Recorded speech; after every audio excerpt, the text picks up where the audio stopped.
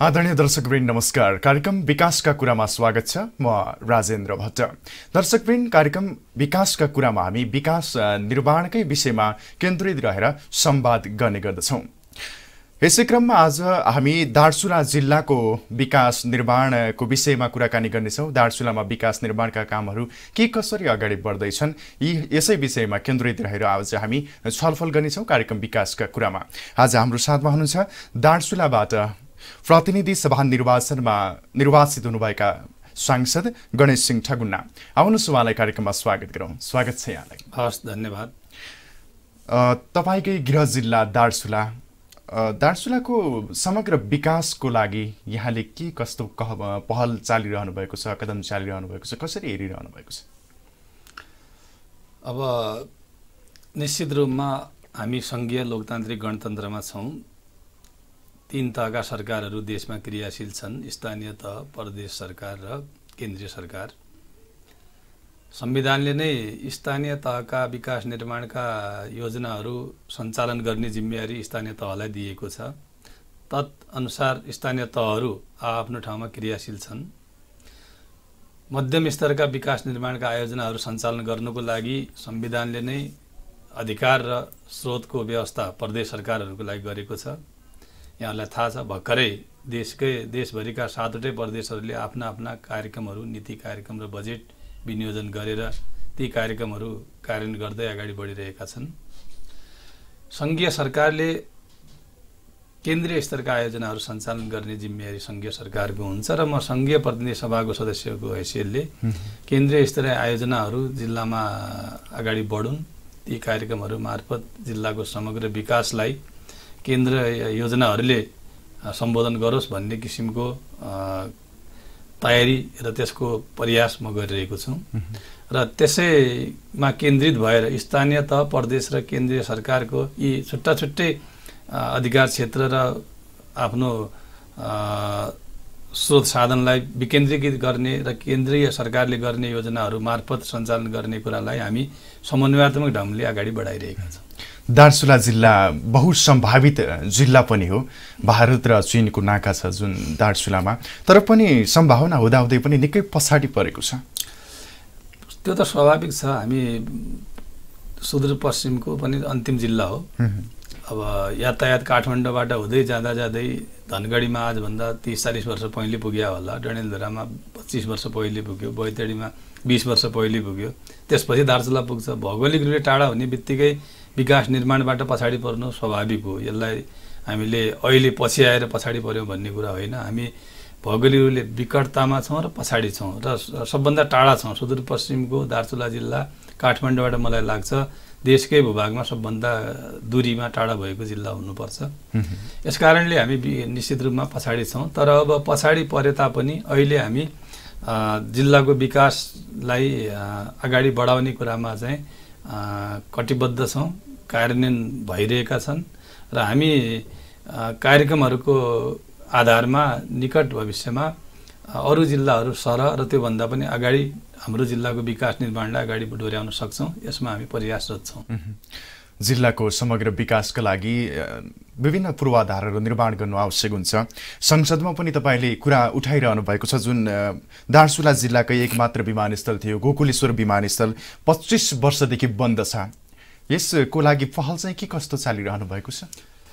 पहल चालिएको छ म चाहिँ संसदमा दुई हजार सत्री सालमा आएको आज दुई हजार पचहत्तर साल झन्डै पाँच वर्ष मेरो अवधि अहिले अब भइरहेछ। मैले सुरुवातदेखि नै गोकुलेश्वर विमानस्थल सञ्चालनको लागि प्रयास गरेको हुँ।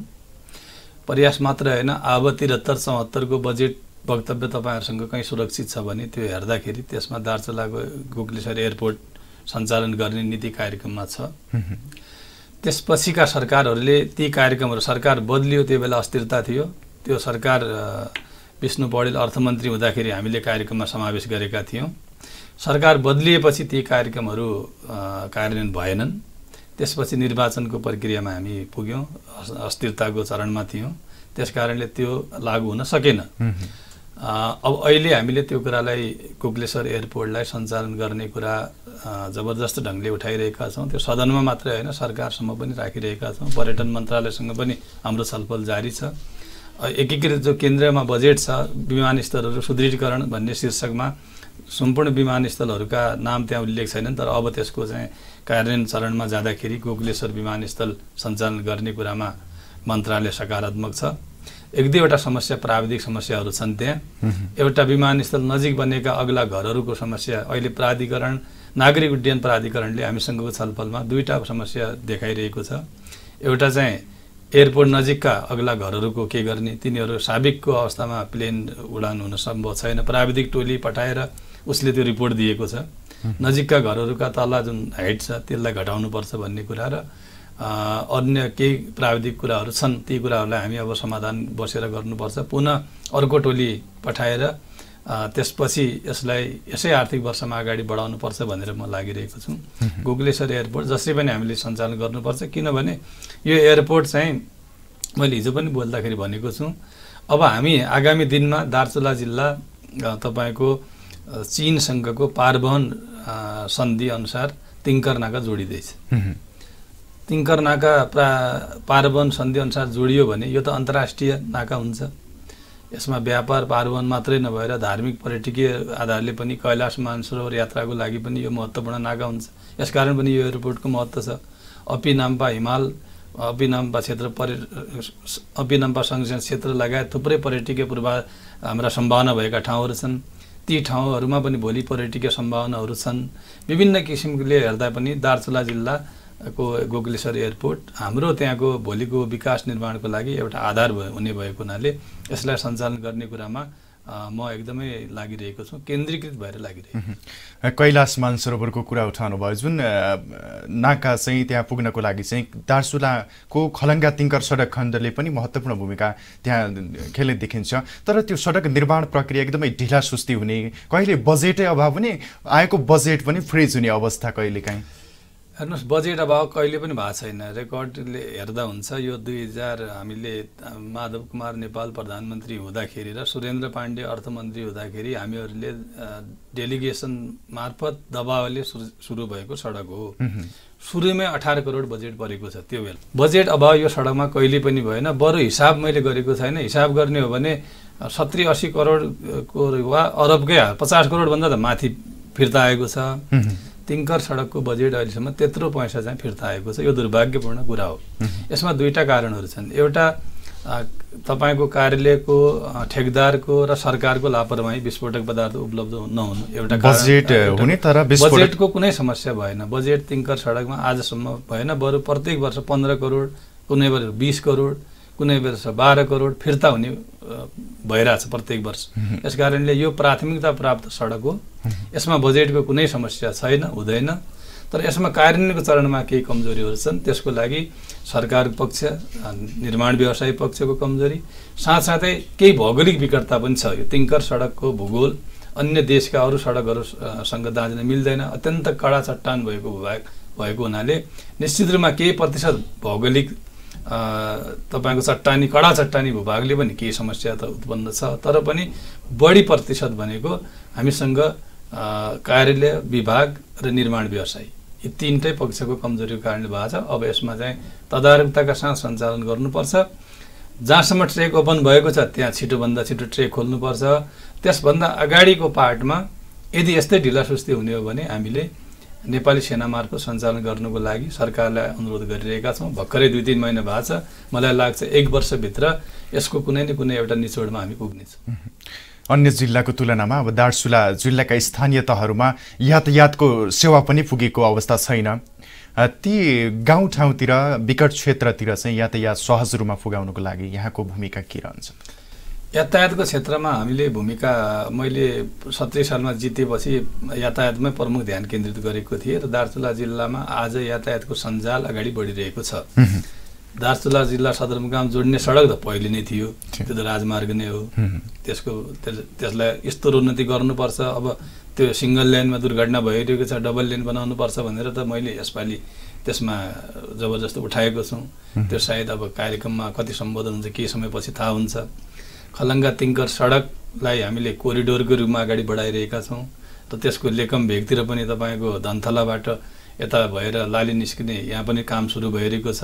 दार्चुलाबाट तिङ्कर सडकलाई नै प्रमुख प्राथमिकता दिने उद्देश्यले यसपालि दार्चुला तिङ्कर खण्ड भनेर छुट्टै पनि रेड बुकमा महाकाली कोरिडोरको भित्र प्रमुख रूपमा दार्चुला तिङ्कर खण्ड भनेर चाहिँ उल्लेखित छ। जसलाई विपक्षीहरूले बजेट शून्य पनि भन्यो। त्यसलाई चाहिँ किनभने महाकाली कोरिडोरमा बजेट छ। दार्चुला तिङ्कर सडक महाकाली कोरिडोरमै हो। र त्यसभित्र पनि दार्चुला तिङ्कर सडक भनेर अन्य छुट्टै उल्लेख गर्नुको कारण के हो भने त्यो स्पेसल त्यसभित्रको हामीले हाइलाइट गर्नु खोजेको दार्चुला तिङ्कर खण्ड हो। यसकारण त्यो हामीले सञ्चालन गरेका छौँ। जिल्ला सदरमुकाम जोड्ने अर्को सडक तेथला धुलीगाडा खार खलङ्गा सडक अहिले ट्रेक ओपन भएर कच्ची सडक छ। यसपालि केन्द्रीय सडकमा परेका थिएन परदेशतिर गएको थियो। त्यो सडकलाई पनि हामीले केन्द्रमा तानेका छौँ। अब केन्द्रीय सरकारले नै हेर्छ। खण्डेश्वरी सबभन्दा विकट ठाउँ हो। त्यहाँ जोड्ने पारिबुगढ खण्डेश्वरी सडक पनि परदेशमा हस्तान्तरण सडक थियो। त्यसलाई पनि यसपालि म हामीहरूले जबरजस्त सङ्घर्ष गरेर केन्द्रमै तानेका छौँ। अब केन्द्रले नै हेर्छ त्यो बहुवर्षीय ठेका मार्फत गइरहेको छ। यसबाहेक पनि हामीले महाकाली किनारतिरको भर्तोला सेरा सडक त्यसमा प्रगति त कम छ मैले किनकि यसमा स्वीकार गर्नैपर्छ जति हामीले बजेट दियौँ ठेक्का लगायौँ तर कामको गति सुस्त छ। त्यो हामीले गति छ भन्न म भन्दैन त्यसमा कमी कमजोरी हामी सबैको होला अथवा चाहिँ के अरू कुरा होला तर त्यो महाकाली किनारको जुन सडक छ त्यसलाई निर्वाचन क्षेत्रीय सडक अन्तर्गत त्यो पनि सुरुवात भएको छ। त्यसबाहेक पनि थुप्रै सडकहरू मैले त आफ्नो पाँच चार वर्ष कार्यकालमा दार्चुला जिल्लाको हरेक सडक सुरु गरेका थिएँ। तपाईँको त्यति मात्रै होइन ऐरछानाबाट धन्थला निस्किने सडक मैले नै सुरु गरेको मालिकार्जुनबाट भक्कोती हुँदै निस्किने सडक पनि मैले नै सुरु गरेको। आगरबाट रानी शिखर निस्किने सडक होस् अथवा हरेक सडकहरू हामीले सुरुवात गरेका थियौँ तर अहिलेको सङ्घीय व्यवस्थाअनुसार अब ती सडकहरू रण रणनीतिक सडकहरू परदेशमा प्रादेशिक र क्षेत्रीय सडकहरू चाहिँ पालिकामा र हाइवे र राजमार्गहरू केन्द्रमा रहने व्यवस्थाले के तल गएका छन् तर हामी सकेसम्म ठुल्ठुला सडकहरू जस्तो मैले अगाडि भने देथला धुलीगाडा खण्ड पचास पचपन्न किलोमिटर सडक हो। यो कालोपत्री तल तहले सक्दैन केन्द्रले नै गर्नुपर्छ भनेर यहाँ लडाइँ लडेर अहिले केन्द्रीय उसमा राखेका छौँ खण्डेश्वरी सडक यस्तै महाकाली कोरिडोर जस्तै हो। अत्यन्त कडा चुट्टानी भूभाग भएको। त्यसलाई पनि माथि नै गर्नुपर्छ। अरू सडकहरू पनि सकेसम्म हामी केन्द्रीय बजेटबाटै गर्ने उसमा छौँ। तर दार्चुला जिल्लामा सडक दुँ लेकम मारमा प्रत्येक भेगमा। प्रत्येक वडा जोड्ने त केन्द्र दायित्व होइन। अब वडा चाहिँ स्थानीय तहले जोड्नु पऱ्यो तपाईँको पालिकाहरूले प्रदेश सरकारले गर्नुपर्छ। बजेट त तल गएको छ। तर मुख्य सडकहरू चलानी कोरिडोरभित्रको सडक होस् नगाडभित्रको कोरिडोरको सडक होस् महाकाली किनारको सडक होस् अथवा दुङतिरको तिङ्कर जोड्ने सडक होस् यी सडकहरू कर्मागत रूपमा चालु छन्। यस कारणले दार्चुला जिल्लामा सडक सञ्जाल छैन भन्ने कुरा छैन। कामहरू ठेक्का निर्माण कार्यहरू सुरु भइरहेछन्। गति कम छ निश्चित रूपमा यसमा त मैले स्वीकार गर्छु। अब हरेक जनताले मेरो यो कुरा सुन्दाखेरि कमेन्ट गर्ने कुरा पनि हुनसक्छ। गति नभएपछि त के भन्ने? तर अब गति दिनुपर्छ। हिजोको दिनको जस्तो छैन। अब सरकार कडाइका साथ अगाडि बढ्छ र यसमा गति हुन्छ। दुई हजार सत्री सालको बाढी जुन एकदमै कालो दिन रह्यो दार्चुलावासीहरूका लागि। अहिले पनि ठिक्क वर्षात लागिसकेको छ महाकाली नियन्त्रणको काम पनि त्यति भए तापनि प्रभावकारी नभएको बनाउँदा बनाउँदै भत्किने देखिरहेछ। महाकाली नियन्त्रणको काम के कसरी अगाडि बढिरहेको छ अहिले चाहिँ? होइन यो एकदम महत्त्वपूर्ण योजना हो। महाकाली नदी नियन्त्रण हाम्रो ठुलो क्षति बिहोर्नु पर्यो थुप्रै जनधनको क्षति भयो। तथापि हामीले आफ्नो भूभागको सुरक्षा गर्ने जनताको जीवधनको सुरक्षा गर्ने र जिल्लाको सदरमुकाम मात्रै नभएर महाकाली नदी किनारमा बसेका सम्पूर्ण व्यक्तिहरूको चाहिँ एउटा उनीहरूको जीवधनको सुरक्षा गर्नको लागि यो आयोजना सुरु भएको हो। यसलाई हामीले अत्यन्त प्राथमिकताका साथ लिएका छौँ। र यसलाई अझै कर्मागत रूपमा केही वर्ष अगाडिसम्म अगाडि बढाउने जबसम्म हामीले महाकाली नदी किनारका बस्तीहरूको सुरक्षा गर्न सक्दैनौँ यसलाई बढाउनको लागि हामी लागिरहेका छौँ। यसमा सुरुवातमा बजेट यस वर्षको तिस बत्तिस करोड थियो। त्यो बजेट खर्च पहिले भइसक्यो। मैले एक डेढ महिना पहिले नै विशेष पहल गरेर नौ करोड थप यसमा बजेट फेरि पठाएँ। एकतालिस करोड भयो। अहिले फेरि यो तत्काल काम चालु गर्नुपर्छ कुनै हालले रोकिनु हुँदैन भनेर हिजो र आज पनि म अब यो कार्यक्रम सकिएपछि अर्थमै जाँदैछु। थप बाह्र करोड अझ चाहिँ त्यो कार्यक्रममा हामीले निकासा यसै वर्ष निकासा गराएर त्यसलाई काम द्रुत गतिमा बाह्रै महिना यसमा काम सञ्चालन गर्ने प्रक्रियाले अगाडि बढिरहेका छौँ। यसलाई हामीले गम्भीरतापूर्वक लिएका छौँ र मैले हिजो मात्रै महाकाली नदी नियन्त्रण आयोजना प्रमुख यहीँ हुनुहुन्छ उहाँलाई लगेर अर्थमन्त्रीसँगै राखेर यो एकदम महत्त्वपूर्ण आयोजना हो। यो राष्ट्रको सीमा सुरक्षाको सँग सवाल जोडिएको पनि कुरा हो। यो कुनै एउटा सामान्य तटबन्ध होइन। यो देशको सीमालाई सुरक्षा गर्ने जनताहरूको चाहिँ जीवधनको सुरक्षा गर्ने एउटा बोर्डरमा रहेको सदरमुकामको सुरक्षा गर्ने सडक हुनाले यसलाई अरू सडक योजना जस्तो तपाईँहरूले नलिनुहोस्। यसलाई चौबिसै घन्टा हामीले काम गर्ने किसिमले यसमा चाहिँ बजेटको कुनै अभाव हुनु हुँदैन भनेर हिजो मात्रै कुरा गरेर मलाई लाग्छ एक दुई दिनभित्रै फेरि बाह्र करोड बजेट अझ त्यसमा अहिले असाढभित्रैको लागि यो विनियोजन थप हुन गइरहेको छ। हामीले यसमा चाहिँ म एकदम गम्भीरतापूर्वक लागिरहेको छु र यो आयोजना राम्रो ढङ्गले अगाडि बढिरहेको छ। नमुना ढङ्गले र भोलिको दिनमा यो दार्चुला जिल्लाकै एउटा नमुना आयोजना यो हुन्छ। बाढी प्रभावित जुन पीडितहरू थिए उनीहरूले राहत समेत नपाएको गुनासो गरिरहेका छन्। धेरै क्षति भएको थियो तर केन्द्र सरकारले राहत दिएन भन्ने गुनासो आइरहन्छ। उनीहरूको समस्या सम्बोधनका लागि पनि केही कदम चालिरहनु भएको छ? त्यसमा एकचोटि त्यो बेला हामीले सबैले सामूहिक रूपमा कदम चाल्यौँ। त्यो बेलाको क्याबिनेटले एउटा निर्णय पनि गर्यो। अब प्रचलित कानुनअनुसारको राहत भने त थोरै हुन्छ तपाईँलाई थाहा छ त्यो त सबैले नपाएको कुरा होइन। तर हामीले अतिरिक्त उनीहरूलाई सुविधा पुर्याउने कुरा अथवा क्षतिपूर्ति पुर्या पुर्याउने कुरामा त्यो बेलाको क्याबिनेटले के निर्णय गरेका छ भने त्यो बाढी पीडितबाट घरबारविहीन भएका व्यक्तिहरूलाई चाहिँ थप क्षतिपूर्ति दिने भन्ने किसिमको निर्णय भएको छ। त्यसभित्र के कति परे त्यो त अब उतै थाहा होला। के निर्णय भएको छ? यद्यपि त्यो निर्णयभित्र त्यहाँका बाढी पीडितहरू पर्न सकेनन् त्यहाँ हामीले त्यो बेला निर्णय गर्दाखेरि अलिकति छुट्टै ढङ्गले गर्नुपर्ने थियो। तर अब त्यसबाट चाहिँ सुविधाबाट वञ्चित हुनु सबैले सुविधा पर्याप्त पाएको कुरा त छैन। त्यो आवाजलाई उठाउने कुरा जारी नै छ। यसै सदनमा पनि हामीले पटक पटक दार्चुलाका बाढी पीडितहरूलाई भूकम्प पीडित सर राख्नु पऱ्यो भनेर आवाज त उठाइरहेका छौँ। तर पहिले एउटा क्याबिनेट निर्णय भएर केही सुविधाहरूको निर्णय भइसकेको हकमा। तर जनता त्यो क्राइटेरियामा नपरे अवस्थाले गर्दाखेरि केही समस्या यहाँ उत्पन्न भइरहेको छ। हामी यसमा चाहिँ आफ्नो तर्फबाट गर्ने पहल गरि नै रहेछौँ ठ्याक्कै अहिले नै यस्तै गर्न सकिन्छ यस्तै हुन्छ भन्न सकिने अवस्था छैन। जुन तुइन विस्थापित गर्ने योजना पनि थियो सरकारको बहुमहत्वाकाङ्क्षी योजना। दार्चुला जिल्लामा यो समस्या पनि एकदम धेरै नै रहेको छ। दार्चुला जिल्लाको साबिकका दोहो क्षेत्रका गाविसहरू जस्तै धौलाकोट हुती हिकिला सुनसेरा ब्यास लगायतका गाविसहरूमा चाहिँ सामान्य कामकाजको लागि आउँदा पनि भारतको बाटो तुइन भएर तरेर सदरमुकाम आउनुपर्ने अवस्था छ। जाँदा पनि त्यस्तै सयौँ मानिसको ज्यान जान्छ। ट्विन विस्थापनको लागि के भइरहेछ अहिले होइन ट्विन विस्थापनको त भइरहेछ नि कार्यक्रम तपाईँको। तिग्रममा ट्विन विस्थापन अन्तर्गतै पुल बनिसकेको छ। लालीमा बन्दैछ यो त ट्विन विस्थापन अन्तर्गत कार्यक्रम हो नि त। पहिले पनि हामीले माग गरे त बिस वर्ष भइसकेको थियो। जब ट्विन विस्थापनको नेपाल सरकारले निर्णय गरेर भारत सरकारसँग तपाईँको सम्बन्ध यो सम्पर्क गरेपछि ऊ भारतले दुईवटाको तत्कालै स्वीकृति दियो। एउटा बनेर मान्छे हिँडिसकेका छन्। अर्को लालीमा चाहिँ तपाईँको ठेकापट्टा भएर त्यो प्रक्रिया लगभग अब अगाडि बढ्या होला। अब बाँकी जति ठाउँमा तुइन्छन् यो त अन्तर्राष्ट्रिय सीमा हो नि त नेपालले चाहेर पुल लाउन सकिने ठाउँ होइन। भारतले स्वीकृति नदिएर नेपालले मात्रै ट्विन विस्थापित गर्छौँ भन्ने कुरा होइन। नेपाल सरकारले त जति ठाउँमा ट्विन थिए तिनीहरूलाई विस्थापन गर्नको लागि भारतसँग अनुरोध गरेर पठाएर तत्त ठाउँमा बजेट छुट्याएर ठेका पनि गरिसक्यो। अब भारतीय पक्षले चाहिँ उसको आफ्नो अध्ययनले कति ठाउँमा अनुमति दिन्छ त्यो अनुसारले हामीले पुल बनाउँदै जाने दुईवटा दिइसकेका छ। अझ दुई तिनवटा हाम्रो यसपालिको प्रधानमन्त्रीको भारत भ्रमणपछि नेपालले जति माग्यो त्यति हामी दिन सक्दैनौँ। हामीलाई आवश्यकता पनि छैन सेक्युरिटीको पनि कुरा भयो।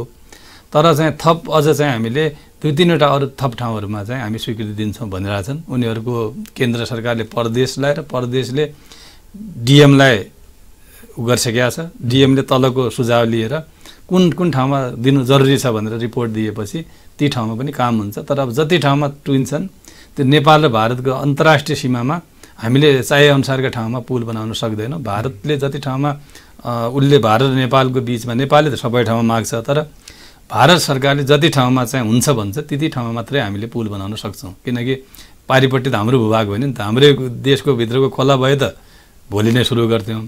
तर अन्तर्राष्ट्रिय कुरा भएको हुनाले दुईवटा ट्विन उलनमा काम भइसकेका छन्। दुङको मध्य भागमा रहेको तिग्रममा पुल सञ्चालन छ। लेकमतिरको काम लालीमा काम सुरु भएर होला। नभए पनि हुने अवस्थामा छ। त्यो सबैतिरबाट टुङ्गिएर अगाडि बढिसकेका छ। अरू थप हामीले मागे त आठ नौवटा हो। तर त्यति दिन सक्दैन। अब थप तिन अथवा दुई तिनवटा चाहिँ हामी अध्ययन गर्दैछौँ। अलिअलि जरुरी ठाउँमा हामी दिन्छौँ भनेर भनिरहेछन् र अब भारतीय त्यो रिपोर्ट आयो भनेपछि थप ठाउँमा पनि सुरु होला। सीमाको कुरा गर्नुभयो दार्चुलाको उत्तरी भूभाग जुन छ लिपुर लेक अनि कालापानी एकदमै विवादग्रस्त छ। नेपालकै भूमिमा भारतले मिचेको भन्ने पनि आउँछ कुरा। नेपालकै सहमति बिना पुल पनि लगाएको कुरा आएको थियो केही दिन अगाडि। यहाँले चाहिँ क्याबिनेटमा के कुरा उठाउनु भएको छ यस सम्बन्धमा समस्या? सीमा विवादको समस्या मूल गरेर। सीमा विवादको समस्याको सवालमा त हामीले संसदमा क्याबिनेटमा त अब मन्त्रीहरूले उठाउने हो। संसदमा चाहिँ कुरा उठाएका उठाएकै छौँ। यसपालि पनि म निर्वाचित भएपछि पनि उठाएको छु। त्यो रेकर्ड हेर्दा थाहा हुन्छ। पहिले पनि यो विषय उठाएकै हो। यो विषय अब संवेदनशील ढङ्गले अगाडि बढेको छ। प्रधानमन्त्रीले पनि यसमा ध्यान आकर्षण भएको छ भनेको छ। अब यसलाई चाहिँ कुटनीति ढङ्गले यो विषय चाहिँ भारत र चिनसँग छलफलमा छ भन्ने कुरा प्रधानमन्त्रीले अस्ति नै परराष्ट्र मन्त्रीले बोलेका छन् सदनमा। यस कारणले अब त्यो लिपुलेकको सवालमा हामीले नै हो यो उठान गरेको सुरुदेखि नै। कालापानीको सवालमा हामीले नै त्यो कुरा कालापानी म आफै दुई दुईपटक कालापानी सम्बन्धी नेतृत्व गरेर जाने व्यक्ति हुँ। यस कारणले यो मुद्दा हामीले उठाएनौँ भन्नु र अरूले अहिले आएर बोल्दैमा के हुनेवाला छैन। हामी त स्थलगत रूपमा गएर यो मुद्दालाई उठान गरेर राष्ट्रिय रूपमा पठाउने मान्छे। र म जीविस सभापति हुँदाखेरि त्यही मुद्दा उठाए बाबत इन्डियापट्टि मलाई चाहिँ कस्टडीमा राखेर भारतबाट नेपाल फर्काएर म नेपालबाट दिपायलको कार्यक्रममा पैदल हिँडेर त्यो बेला आएको व्यक्ति हुँ। यस कारणले कालापानीको मुद्दा लिपुलेकको मुद्दा हामीले नउठाउने र अरूले उठाउने भन्ने कुरा हुँदैन। हामीले मैले उठाएकै छौँ। अरूले पनि उठाइहाल्यो उठाउनुपर्छ किन यो राष्ट्रिय मुद्दा हो। तर यसमा चाहिँ के हो भने अब लिपुलेक र कालापानी भन्दा पनि सीमा सुरक्षाको कुरा हो सीमा नेपालको सीमा नदी महाकाली नदीको वारिपारिपट्टि नेपाल भारत हुने नेपालको सिम भारतको सीमाको त्यसरी व्याख्या गरिएको छ। महाकाली नदीको उद्गम स्थल कहाँ हो र कुन महाकाली नदी हो भन्ने कुरा मात्रै प्रष्ट हुने बित्तिकै सीमा आफै छुट्टिन्छ। यस कारणले हामीले त्यसबारेमा उठाइरहेका छौँ र अस्ति भारत भ्रमण हुँदाखेरि नेपाल सरकार र भारत सरकार नेपाल र भारतीय टोलीको बिचमा छलफल भएर यसलाई विवादितमा राखेका छ। सुस्ता र कालापानी क्षेत्रलाई विवादितमा राखेर अन्य क्षेत्रहरूमा सीमा विवाद हल भएको कुरालाई संयुक्त विज्ञप्तिमा निकाल्नु भन्ने कुरा भारतको आएको थियो। अनि नेपाल सरकारले कालापानी र सुस्ताको विवाद नमुनि नमिलुन्जेलसम्म अन्य ठाउँको पनि हामी निकाल्दैनौँ। यो एकैचोटि हामी यो पनि हल गरौँ भनेर यो विवादित विषयमा नै छ। यो भारत नेपालको आफ्नो कुटनीतिक हिसाबले चाहिँ यसलाई चाहिँ छलफलमै छ र यो भारतले मिचे तापनि नेपालले दाबी गरेका ठाउँ भए हुनाले यो विवादित क्षेत्र हो भन्ने भारतले पनि स्वीकार गरेको छ जलविद्युतको कुरा गर्दा तिस मेगावाट क्षमताको समेलिया जलविद्युत त्यस्तै नौगाड जलविद्युत आयोजना पनि दार्चुलामा छ। अन्य निर्माणाधीन योजनाहरू पनि थुप्रै छन्। तर पनि दार्चुलावासीहरूले अझै विद्युतको सहजै अनुभव लिन सकिरहेका छैनन् सहजै विद्युत बाल्न सकिरहेका छैनन्। विद्युत नपुगेका ठाउँमा विद्युत पुर्याउनुको लागि यहाँको पहल चाहिँ के रहन्छ? होइन अब विद्युत भने कस्तो हो भने तपाईँहरूले यो विद्युत उत्पादन हुने बित्तिकै तुरुन्तै त्यसले त्यही विद्युतलाई चाहिँ हामीले वितरण केन्द्रमा नपुर्याउने हो भने सोझै दिन सक्दैनौँ। यो बुझाएको पनि कमजोरी छ। उत्पादन हुने बित्तिकै त्यो विद्युतलाई हामीले वितरण केन्द्रको लागि सब स्टेसनसम्म पुर्याएर त्यहाँबाट हामीले डिस्ट्रिब्युसन गर्नुपर्छ। यस कारणले आजभन्दा दुई वर्षभन्दा पनि अगाडि नै हामीले दुई तिन वर्षै भयो होला दुई ढाई वर्ष। चमेलियाको विद्युत बलाजको सब स्टेसनबाट दार्चुलाको थालीगाडमा सब स्टेसनमा पुर्याएर त्यहाँबाट चाहिँ जिल्लाको वितरण गर्ने अहिलेलाई। पछि थप अरू सब स्टेसनको आवश्यकता पर्दै जाला भन्ने किसिमले त्यो कार्यक्रम स्वीकृति गराएर मैले नै मेरो पहलमा विशेष पहलमा थालीगाडमा सब स्टेसन बन्दैछ। त्यो अब सम्पन्न हुने अन्तिम चरणमा छ। केही रुखहरूको त्यो बर्मणे क्षेत्रमा त्यो ट्रान्समिसन लाइन बलाजबाट लग्दाखेरि केही रुखहरू काट्नुपर्ने भए हुनाले त्यो वन र सामुदायिक वन उपभोक्ता समितिहरूको अलिकति बिचको सम् कुराले गर्दाखेरि केही ढिलाइ भएको छ। त्यो पनि कुरा मिलाऊ भनेर हामीले भनिरहेका छौँ। त्यो ट्रान्समिसन लाइन र सब स्टेसन निर्माण कार्य सम्पन्न हुने अवस्थामा छ। त्यो बनेपछि त्यो बलाँचको विद्युत हाम्रो दार्चुलाको थालीगाडको सब स्टेसनबाट डिस्ट्रिब्युसन हुन्छ। ग्रामीण विद्युतीकरण प्रत्येक गाउँमा अहिले पनि काम भइरहेछ। नेक्स्ट इयरमा अझ मैले अस्ति नै प्राधिकरणमा गएर थप बजेट विनियोजन गराउन लागेको छौँ। पहिले दुई करोड प्रस्तावित गरेको थियो। मैले ग्रामीण विद्युतीकरणको लागि हुँदैन भनेर चार करोडमा बढाउन लागेका छौँ। अझै यसलाई वृद्धि गरेर ग्रामीण विद्युतीकरण जो प्रत्येक वडामा अहिले ठेकापट्टा भएर पोल तारहरू गइरहेछन् काम भइरहेछ। यो अलिकति धिमा भयो। यसमा कम भयो। यसलाई अलिकति स्पिड दिनुपर्छ भनेर यसको लागि बजेट बढाउने र अन्य पहलहरू गरिरहेका छौँ। थालीगाडको सब स्टेसन अन्तिम चरणमा छ। त्यो सम्पन्न हुने बित्तिकै त्यो विद्युत त्यहाँबाट हामीले पाउँछौँ। समय सकिसकेको छ र अन्त्यमा दार्चुलाको विकासका लागि यहाँको आगामी योजना के छ संक्षिप्तमा भनिदिनु होइन मेरो एकदम तपाईँलाई भनौँ मैले केन्द्रीय प्रोजेक्ट विकास भने मैले अगाडि नै तपाईँलाई बताएँ आफ्नो दायित्व छ। सानो सानो टोलका योजनाहरू दुनियाँ योजनाहरू आफ्नो प्रदेश र स्थानीय तहले हेर्नु पऱ्यो केन्द्रीय आयोजनाहरू चाहे तिङ्कर नाका खोल्ने व्यापार पाहाड टुरिज्मको लागि त्यो म गर्छु मैले बोले पनि छु। ठुल्ठुला सडकहरू केन्द्रले हेर्ने ठुला सडकहरू त्यसलाई म एकदम जबरजस्त ढङ्गले लाग्छु। टुरिज्मको लागि सम्भावनाहरू खोज्ने कुराहरू छन्। त्यस्तै विद्युतीकरणहरू अब अप्पर चमेलिया लावर चमेलिया दुइटैलाई अहिले नयाँ कार्यक्रममा छ। तपाईँहरू अहिले ऊर्जाको कार्यक्रम हेर्नु होला लावर र अप्पर चमेलिया नेपाल विद्युत कार्यक्रम प्राधिकरणको कार्यक्रममा समावेश गर्न सफल भएका छौँ। यद्यपि त्यो अब अनुसार अध्ययनमा जाला तर पनि अहिले दार्चुलाका दुईवटा अप्पर चमेलिया र लावर चमेलिया। ती दुईवटा ठुला प्रोजेक्टहरू मेगा प्रोजेक्टहरू अब हामीले अगाडि बढाउनुपर्छ त्यसमा म लागिरहेको छु। चमेलियाबाट पानी ल्याएर लेकम र तपाईँको शैल्य शिखर लेकम र मालिकार्जुन गाउँपालिकाका माथिल्लो टप एरिया जहाँ मूल छैन। त्यसमा एउटा ठुलो केन्द्रीय प्रोजेक्ट चमेलिया कुणी कुसकाँडा खानेपानी भनेर चाहिँ। यसमा अहिले थुप्रै मान्छेहरू भनिरहेका छन्। मैले बोलेको थिएँ बोलेर हुँदैन। कार्यक्रम के त्यसको लागि मैले स्पेसल मेरो योजनाअनुसार चमेलियाको पानीलाई लिफ्टिङ गर्ने। किनकि माथि यत्रो भूभाग छ माथिल्लो बेल्टमा त्यहाँ मूल छैन। त्यहाँ बिनामूल योजना हाल्नु भने दुरुपयोग हुन्छ।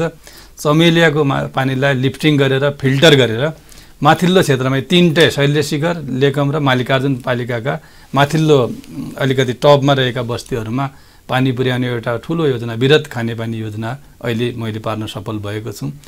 हुन्छ अत्यन्तै व्यस्तताको बावजुद समय दिनुभयो यहाँसम्म आइदिनुभयो यहाँलाई धेरै धेरै धन्यवाद। हस् धन्यवाद। आदरणीय दर्शकवृन्द आज हामीले दार्चुला जिल्लाको विषयमा केन्द्रित रहेर त्यहाँको समग्र विकास निर्माणको विषयमा छलफल गऱ्यौँ आज हाम्रो साथमा हुनुहुन्थ्यो दार्चुला जिल्लाबाट प्रतिनिधि सभा निर्वाचनमा निर्वाचित सांसद गणेश सिंह ठगुन्ना हुन्छ त यतिन्जेलसम्म कार्यक्रम हेरेर साथ दिनुहुने यहाँहरू सबैलाई धन्यवाद। हामी सबैलाई बिदा दिनुहोस्। नमस्कार।